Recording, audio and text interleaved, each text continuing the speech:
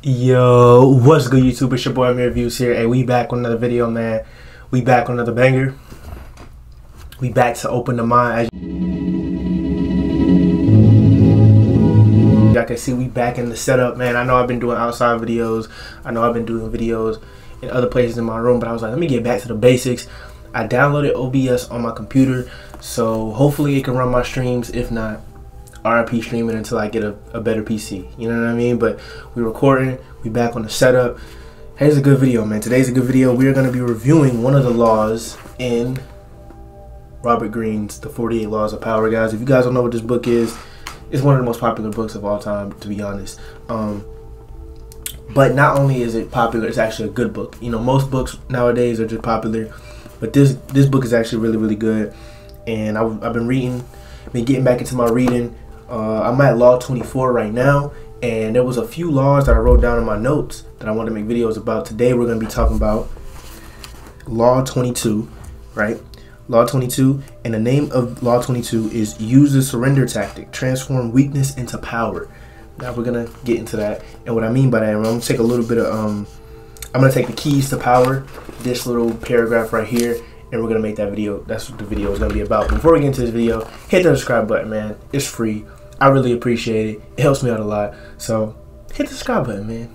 If you love life, if you love reading, if you love knowledge, if you just just love living, hit the subscribe button, man. You know what I'm saying? But without further ado, let's get right into the video. So I'm gonna read the keys of power and I'm gonna break it down in my opinion what what that means and how what what he is saying in this part of the book can get a lot of people in trouble in any facets of life, whether it's business, relationships, communications, um, you know, handling tough times in your in your life, you know, handling situations in your life, it can save you a lot. Save you a lot. You know what I'm saying? So without further ado, let's get right into it. So the keys to power, y'all. If you are if you are or if you do want to read this part of the book, it is like I said, Law 22, and it's page 167, and it will say the keys to power right here. Right here keys of power right here. So I'm gonna read it off. If I'm looking here, it's because my screen's here, but my camera's here. But let's read it off. I'm gonna read off a little bit, and then we're gonna break it down. Keys to power. All right, now I'm about to start reading. What gets us in trouble? What gets? Mm, look at that. Look at that. What gets us into trouble in the realm of power is often our overreaction to the moves of our enemies and rivals. Now, off the rip, off, let me read that again. Let me read that again. What gets us into trouble in the realm of power is often our overreaction to the moves of our enemies and rivals. Now, off the rip, you guys can probably think of a time you overreacted to a situation. We've all been there. We've all overreacted to a situation where we didn't need to overreact. Where somebody says something to us like, bro, you lame. And you start spazzing out, losing your composure, losing your temper. And now they lost all respect for you, bro. You lost all the power. You know what I'm saying? you in a negotiation and somebody says something you don't like and now you like, oh, I don't want to do that. This is that and third. You just lost out on a great business deal, right? A girl, oh my God, it's fly, bro. A girl might have said, oh, oh, uh, this is and the third to you. You know what I'm saying? Just say some crazy stuff to you, and you overreacted, right? You overreacted. You you you saw her with another dude or whatever, and you spazzing out, you crying, you yelling at the dude, you want to fight him, you calling the girl out her name stay under control, bro. That's what I had to learn. Stay under control. Stay under control. So that part is perfect right there. So we're gonna get into the next sentence. that overreaction creates prob no. That overreaction creates problems we have we would have avoided, right? Had we been responsible. I'm gonna read that one more time. That overreaction creates problems that we would have avoided if we had been more responsible. So like I said, I'm gonna give you a scenario, man. I'm gonna give you a scenario. Say you're a professor, right? You in college. Say you're a professor, right?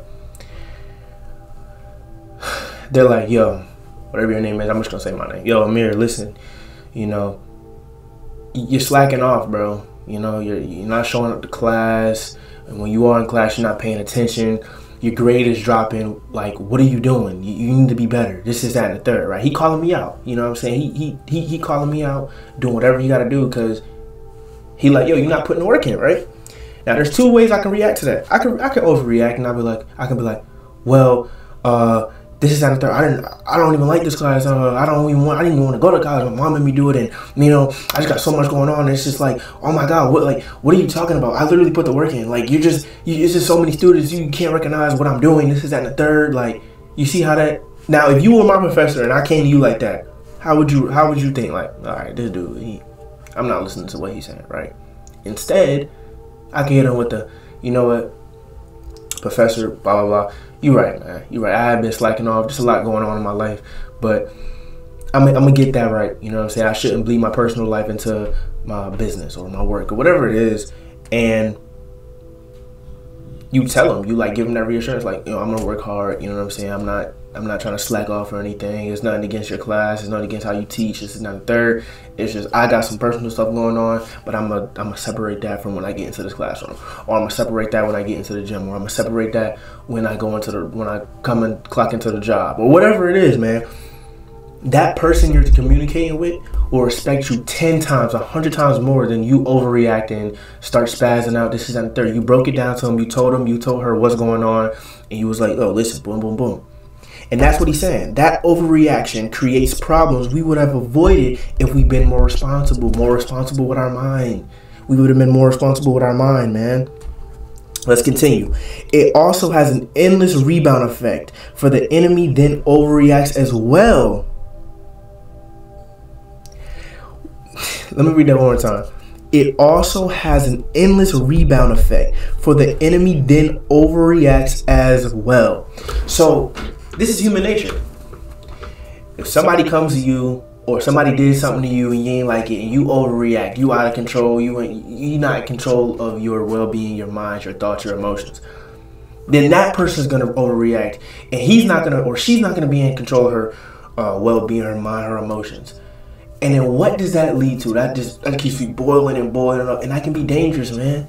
You could be arguing with a dude on the street. My dad always tells me if you if you're arguing if you're arguing arguing with someone more than a minute, especially if you're a man and you're arguing with a man more than a minute, you don't you don't respect each other, and that can end really badly, man. It can end dangerously. You don't know. You could put yourself in a situation where somebody gets hurt, you get thrown in jail. It's crazy, man. Y'all think I'm overreacting? No, this is real life. I see it all the time, bro. People overreact to situations, and now they just threw away their life because they overreact overreacted to a situation. So that's what he means by by it also has an endless rebound effect for the enemy then overreacts as well. You feel what I'm saying? It's like when a dog starts barking and a dog hears that, they start barking. And now the dogs are barking and now it's all chaos. And now the owner's like, oh my God, come here, Bobby, come here, little dog. And now it's just a crazy just event that should have been avoided. That could have been avoided if that other dog just minded business. I'm obviously using dogs, like that's not how they work, but same thing with humans, man. If you if you like if you catch your girl cheating, you walk in, you. But I know, I know it's easier said than done, bro. But keep it cool. Be like, all right, you get out, you get out. Especially if they in your crib, that's crazy. But if you out and about, you see your girl cheating, you go out to her, you be like, you only, I see so many dudes do like, this is what we doing now. This is what we doing now. Keisha, all the money I spent on you. And now they want to fight the dude. I never got that. I never understood why when dudes catch their girl cheating, they want to fight the dude. Bro, nine times out of ten, that dude did not know she had a boyfriend. She did not know that.